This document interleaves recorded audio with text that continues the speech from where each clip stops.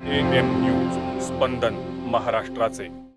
Doctor पायल तडवीला न्याय मिळावा तसंच नंदुरबार जिल्ह्यातील दुष्काळी भागात शेतमजूर कुटुंबांना स्वस्त धान्य मिळावं यासह वेगवेगळ्या मागण्यांसाठी माकपाच्या वतीनं नंदुरबार जिल्हाधिकारी कार्यालयावर मोर्चा काढण्यात आला होता. या मोर्चात आदिवासी दुर्गम भागातील कार्यकर्ते सहभागी झाले होते. उच्च शिक्षण घेणाऱ्या आदिवासी विद्यार्थ्यांवर अन्याय होणार नाही याची काळजी घेण्यात यावी अशी मागणीही आंदोलकांनी यावेळी केली. एम न्यूज स्पंदन महाराष्ट्राचे.